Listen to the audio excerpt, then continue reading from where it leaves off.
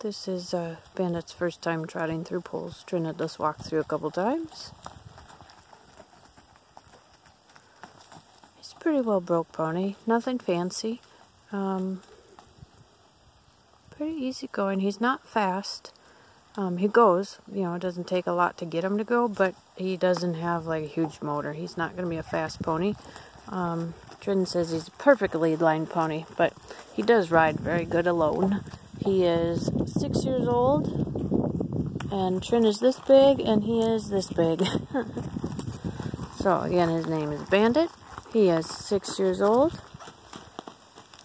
We'll work on more pictures and videos, and we do have some at tuffenufranch.com.